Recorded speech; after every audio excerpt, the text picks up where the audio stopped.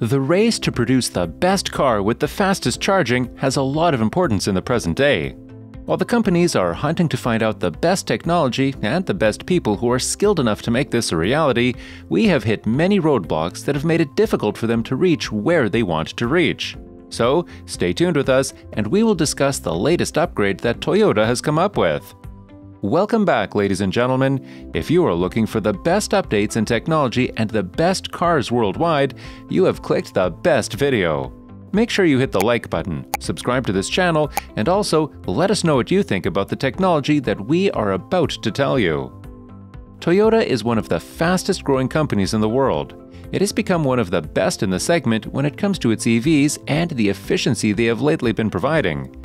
So, this upgrade has been an upgrade to whatever they already could achieve. With the ability to charge the car in 10 minutes, Toyota has hit an all new milestone, which means that the competitors now have a huge thing in front of them to remain in the market. It was back in 2017 that Toyota started working with EVs. Ever since they started it up, they have had some important updates in their mind. A lot of them were related to the commercialization of batteries inside their vehicles. This was the goal they had set to be achieved in the early 2020s.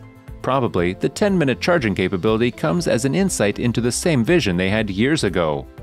It wasn't long ago that Nikkei Asia came out with a new report that Toyota is about to unveil a car powered by the next generation batteries. He also stated that the car would consist of many new features that have never been seen before in the market. Though they did not tell us what they were, we did get a small idea about the utility we can expect out of it. He says that this technology that they have developed is certainly a cure for all the drawbacks that the battery systems have. He says that the technology will be far better than the conventional lithium ion batteries that are presently being used in the industry. As the technology increases, charging times will also decrease, and so will the distance being covered. The technology being used by them is called the solid state battery system that will enable the car to charge much faster than it is being charged presently. Let's talk a bit about the numbers now. The claims are that the car with such a technology embedded into its systems will be able to cover 500 kilometers out of a 10 minute charging time. This is certainly a huge claim to make, and therefore needs to be verified as soon as the car comes out of testing and is available for the experts to take a look at. Given that China has not rolled out an all electric vehicle outside of China, this will certainly be a big debut that it will make in the market. Though the company calls it the first step into this market, we think that there is a long way for them to proceed before we see the best that the car company could bring forth. Solid state technology is one field that could see a lot of innovations in the coming future. The technology that Toyota came up with is just a starting point for the developments here. One of the important elements that need to be considered while speaking of solid state technologies, especially batteries, is the mass production of these batteries. Suppose the statistics that we have presently continue to be the case for the future as well. Toyota will have a very big lead on the market.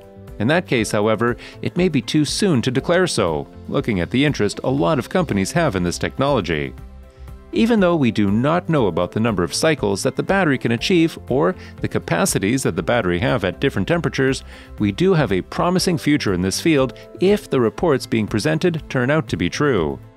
The task at hand is very difficult to solve, so claims that Toyota has solved this issue will need thorough checks before declaring their authenticity. One of the ways for the general public or scientists to believe this news is by releasing a bit more information on this technology and letting us know what changed in it from the last methods we've been aware of. So, a trip of 500 kilometers in one charge, does that sound impossible to you? What if we told you we know something that a lot of people in this world following this news don't? Stay tuned, and we have the updates for you lined up right away. A cure to all the disadvantages that the batteries in this world have is something that will certainly turn a lot of heads.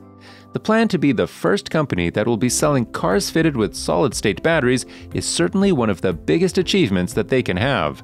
The biggest credit that the company, however, takes on itself is that it could accomplish this without affecting the interior space in any manner.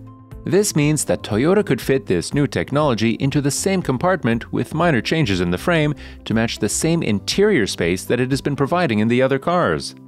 The benefits like the ones we just mentioned are a very good indicator that solid-state batteries could really be a very good fit into the world of electronic vehicles. As a matter of fact, the capability to charge in just 10 minutes eradicates the last excuse of those who hated EVs had in their hand. Reliability and performance under extreme temperatures is one thing that needs to be taken into consideration. Almost all the EVs today have certain flaws in them, no matter how minute they are. Take, for example, the flaw noted in the Tesla handle as it freezes under very low temperatures. These are certain design flaws that could easily be rectified with experience. Given that Toyota is yet to make an impact in the market, we can be sure that it will be able to make all these changes really well and bring in these modifications to attract more customers to the company. The lithium ion batteries use aqueous electrolyte solutions that make them less efficient than the newly found solid state ones. This will not only help increase efficiency, but will also help reduce the chances of fire building up and will multiply the energy density. In simpler words, a smaller sized battery may be able to deliver much higher performance compared to a lithium ion battery of the same size. This is what gives Toyota a chance to keep the cabin space the same while increasing the battery capacity, endurance, and performance. As the battery is densely packed, it will take much less time to charge and hold it within them. As Toyota develops this technology, according to the reports, it has also been found that Nissan has also started their work on solid state batteries. This means that for all those companies putting this into the application, there will certainly be a higher chance of having to change the structure and production line drastically. This, yet again, is an important step that will need to be taken by all such companies. Many other companies have also decided to take up this technology for the production of batteries. Sumitomo Chemical is developing the materials that may be required to develop such kinds of batteries.